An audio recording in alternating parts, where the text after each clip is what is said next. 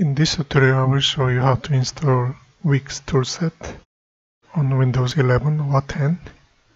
We need WiX toolset to produce native package in um, EXE or MSI from a self-contained Java application or Java FX application using uh, J package of uh, JDK. So let's um, download. Installation is uh, straightforward. If you go down here, I'm going to download WiX 311.exe.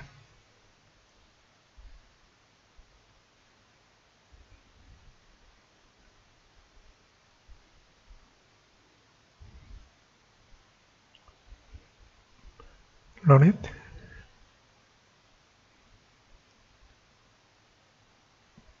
Installation might be a bit slow. Um, basically just copy everything to C drive, uh, program files.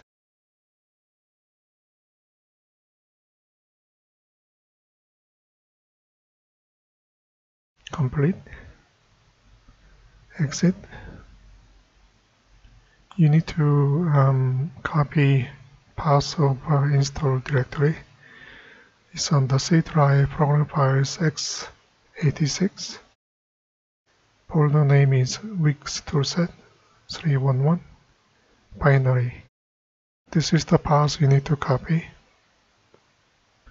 so that you can set it as a system variable. Properties. Advanced system settings. Environment variables under advanced tab we are looking at paths edit.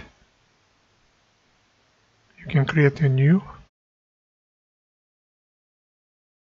And then paste it. Okay. Okay. That's all. Thank you